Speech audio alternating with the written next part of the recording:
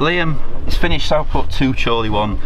I must admit that first half performance was one of the worst I've ever seen. So, how did you turn that around in the second half? Uh, quite simple, told a few ounces. Uh, it's a derby match. Uh, we had a brilliant following. Uh, we know the rivals have been quite, you know, feisty in the last couple of years. There's no way they're getting away with putting a performance in like that in the first half. No chance. Not, not, not for me. Not for the club. Uh, not for the fans. And as I said, there's nothing.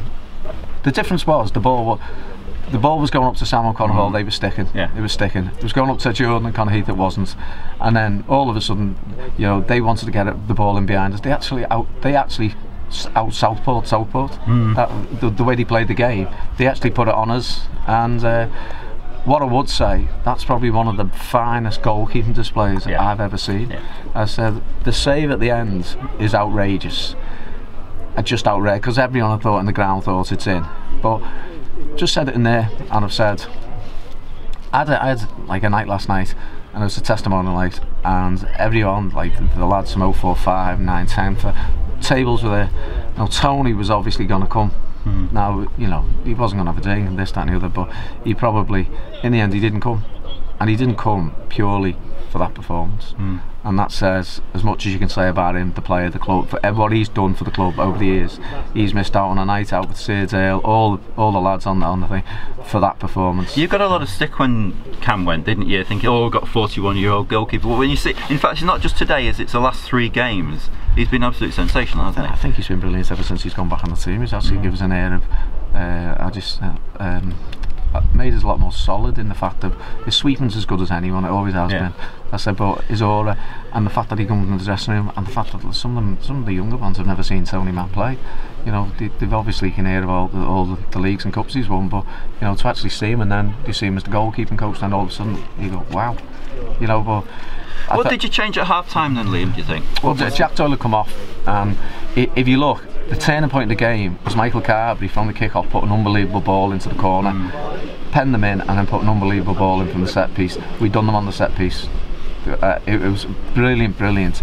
But his ball was fabulous, and Doyley's got free to get a free header, so great. And then I think it wobbled them. But what I will say, Chorley should have had the game done and dusted at half time. Yeah. They were miles better than us, miles better than us, and even in the second half, you know, Conor Hall's hit the bar with a wonder shot, uh, beat every Tony up and like all over the place, and it's just come out. So, so it was our day, it was our day, and we deserved it in the fact that we got a response. Uh, we deserved it because the fans stayed behind us, and I think. Probably not not many times I've actually just walked away from the players and went straight to the fans, Yeah. and, and that was sort of like saying as if to say thanks. You know, I know what you've done for us today, massive, massive, but you know, we've been crying, crying out for a win. I thought the performance the other night at Darlington was very good. Yeah. I actually thought the performance at Telford was good. I thought that was a tough game. Uh, the performance when we've lost to Blyth, we scored two perfectly good goals. Uh, rules out the performance against Fylde. We've missed chance after chance after chance. Um and you know, it's just one of them things. So we're, we're not in bad, bad, bad form. We're not in a bad position. The lads have just got to turn in consistent performances, and you know, I said we got to we got have the following like we did to today. A few home shoots at half time, and I said, and these have these have been on a really good run. They're a good side, surely. Preece has done a great Yeah. job with Yeah. where they are, and I said, you know, but as you said, a set piece and and one bit of where Jordan Archer's got the ball and actually put us in, and Yeah. Connor's finished it really well. Uh, so I can't ask you the language you used at half time, but it, it, what, do you say to players? Uh, you know, without using the language I'm sure you use, what, what do you say to them? you just got to tell them a few own twos. Yeah. You know, one or two of them. You know, people say Con- Connor got the winner, which Yeah. is great. Connor, Connor gave away the first goal. Totally switched off, and their left back like forward. I said that's where he's got to improve. That's where he's got to stay better, get become a better player, stay concentrated all the game. Not just Connor. I said Con Heat's got to work I said, you know, we can see he's got really good ability, but as said, he goes, he's a unit, he's solid. When it goes up, no one should be bump, barging him off the ball. Yeah. And I said, in the second half, he come out and performed. He, you know, he, he won a lot of ball, and he was looking to get out wide. Uh, you know, I thought Tyler, Tyler lively. Tyler's had a really tough, tough spell of one thing and another, and it's actually so that's sort of like the, the closure on that. So now we we get the real Tyler Yeah. back, uh, which is a massive boost. Uh, you know what I think of Miles. He gave us something different when he come on. Switching now to actually then put us the ball, the pace in behind them. Uh, you know, it worked last time when we played them at our place, and you know, it worked this time as well. You must have been thrilled with the response. You know, when when they do that, that you know, it shows that you've got it there to tell them to do that, haven't Well, you? uh, again, uh, last was it last season we come in the FA Cup and we were two 0 down, Yeah. and you know we got a response, and you know, I think at two 0 I think.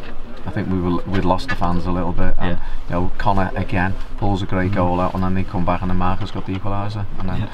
the equaliser ends up being the infamous overhead kick, wasn't yeah, it? just, just you know, but just pleased to get the three points, pleased to get the reaction, pleased we give the fans something to cheer up to go, and uh, we move on to another really, really trappy game. Um, you know, and more travel Tuesday night. Said I've never had blind. it's never ending, is it? This. Yeah, you know, six away games, Yeah. six away games on the spin, but so we just took five points off the last three. Yeah. So, you know, got two to twelve, and I said, you know, target wise, you, you're not a million miles away. If you can nick, nick another win, you're not a million miles away where you'd, you'd like to think you'd got out of them. Well, well done today, Liam. As I say, at half time I didn't see it, but uh, fantastic response, and that's Okay. all we could ask for. Thanks, Rob. Thank you. Now I've got goal scorer Chris Doyle with us this afternoon. Uh, what a turnaround, Chris, from that first half to the second. What, what do you put it down to?